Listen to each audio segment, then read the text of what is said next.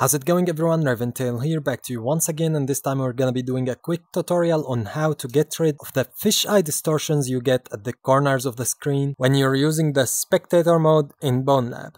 Now you can record through Oculus Mirror or through the Steam VR, but none of them give you the field of view that you get when you record through BoneLab itself and use the spectator fisheye mode. For this method, of course, we're gonna be using OBS Studio, so you can do this too for your live streams. The first step is to download OBS shader filter, navigate to the website and then choose assets, then choose the one for Windows. Right click on your OBS shortcut, click properties, Open file location, then navigate to the root OBS Studio folder, copy the contents of the zip and paste them right there.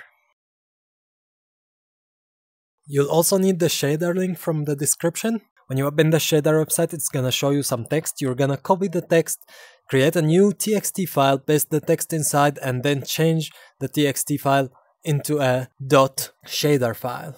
Now, of course, you can paste the shader folder anywhere you want, but if you want to keep things tidy, I recommend putting it inside the OBS plugins folder. Now we're gonna select the game source or window source that we are using. We're gonna press filters. We're gonna add a new filter. Then we're gonna use user defined shader.